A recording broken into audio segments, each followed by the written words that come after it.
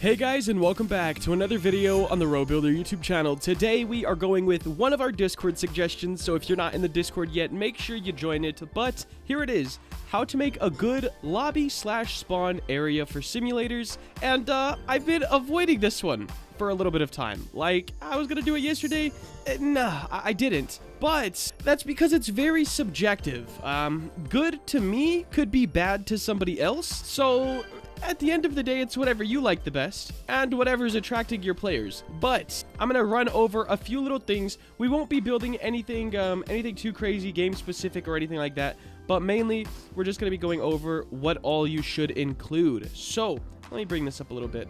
This will be our ground, okay? Now, most lobbies, you're going to have green. Um, let me let me use shamrock instead of bright green. I just feel like feel like a shamrock type of day. So, you'll have your ground, and most of them are like 250 by 250 to 300 by 300.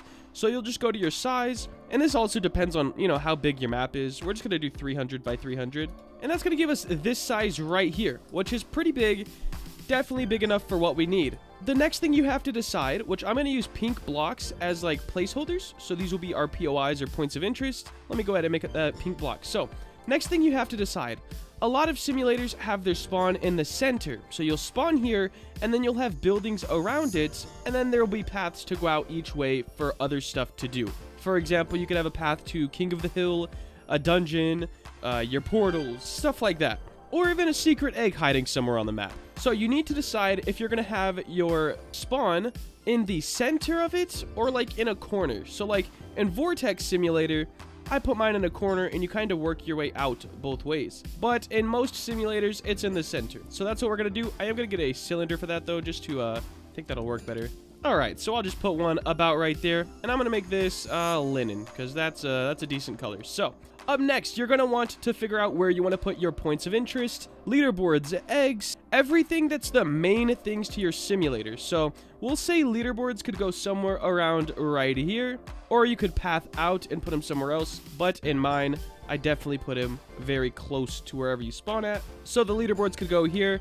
I put eggs kind of far, so like not right on spawn most of the time, a little bit of a ways out just to give players a reason to leave this area. So I'd say eggs could be here. Of course, you need a shop in like every simulator. I usually put those on the opposite side of the eggs. So you can come over here to buy stuff, and then you can come over here to go to your eggs. It gives you like, you know, two sides of the map to go to buy things on and two sides to have gameplay. So now that we have our main things in every simulator pretty much, there's going to be leaderboards, shop, and eggs. What else do we need? Do we have a secondary shop for like skills maybe? We'll just say that. I'd probably put this on this side to kind of block this off and then you're you're spawning here and you kind of look that way and you can see your eggs look this way and you can see your shops I'd do something like that. Do we have a King of the Hill? Yes, let's put that somewhere else. In a whole different corner of the map so players can explore more of the map. You don't want to keep people locked down in one spot or else building all of this is pointless. You could just have a circle and you'd be all right. So now that we have two shops, leaderboards, eggs, and King of the Hill, what else could we have?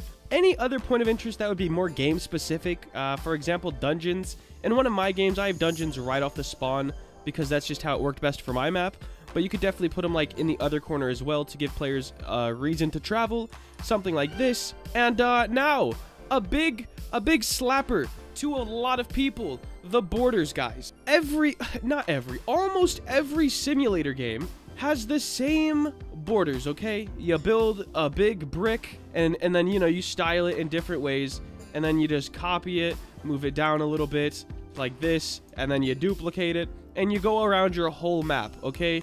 I personally hate it. I, I don't like it at all. Some people do just because it's very easy, but let me show you the simulator I'm working on right now to give you a better idea of how I plan to start doing it, but it also limits a lot as well. So I've been working on this game right here. It was built by a friend, Threesto.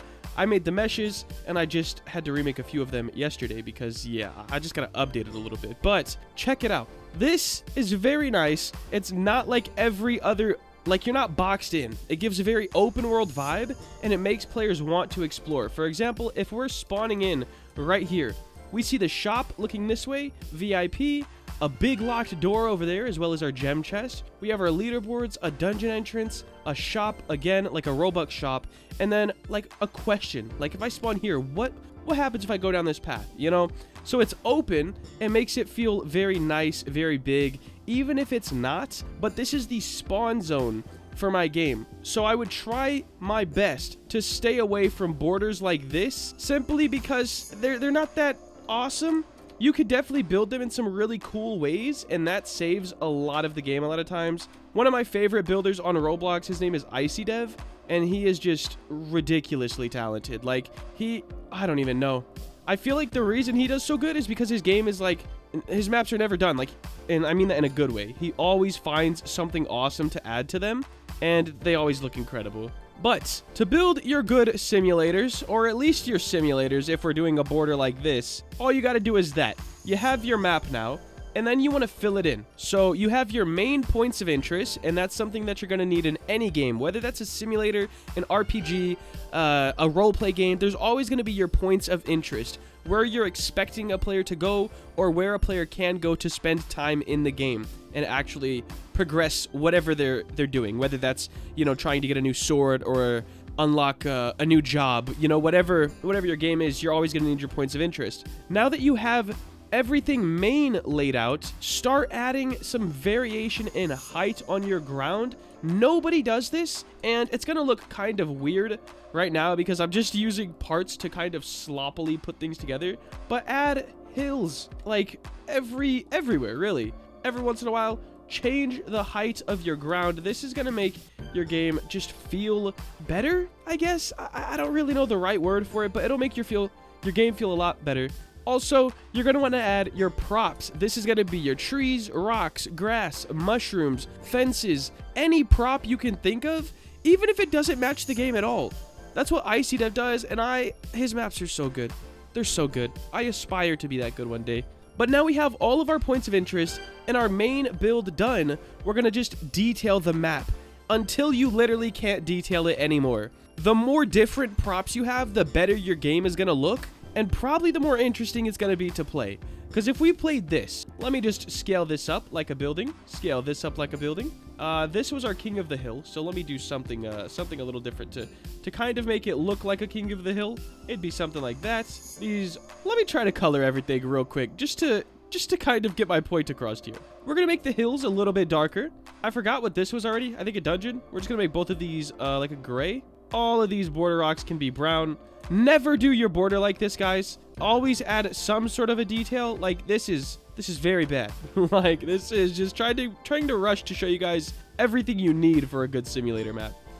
Also, I would avoid making it square at, like, all costs. They'll always look better if they're not exactly square. This just feels very set up. And the more variation in your borders, the better. Like, if you just grab random ones, move a couple of them back, you know? Just add variation, okay, guys? Don't ever do straight like this. It looks really ugly. But now that we have this, as you can see, it's already pretty much a full map. You just need to add trees, grass, all your props, and the more you add, the better it's going to look. But guys, hopefully this kind of a layout-ish video to plan out a simulator map helps you guys build better maps. Very hyped to see what you guys create. And uh, also, let's cut. Cut these, okay? Like, if you want to do borders like this, I don't have a problem with it. I'd say cut two sides or like even one and a half sides and then curve the bottom of this. So like make this a union or just make it a mesh and curve it like this so it's not an exact square. And then curve your borders as well so it doesn't look like a box map and it'll look so much better. I guarantee you people have a lot more fun playing the game. Just do something more along the lines of this. And then you can of course put water out here or some other sort of a border that uh, doesn't look like a rock border maybe a forest, a tree border. It'd have to be pretty dense, but you could definitely do it. But guys, that is going to wrap up today's video. Hopefully you did enjoy, and if you did, make sure to like, comment, and subscribe. Have a great day. Later.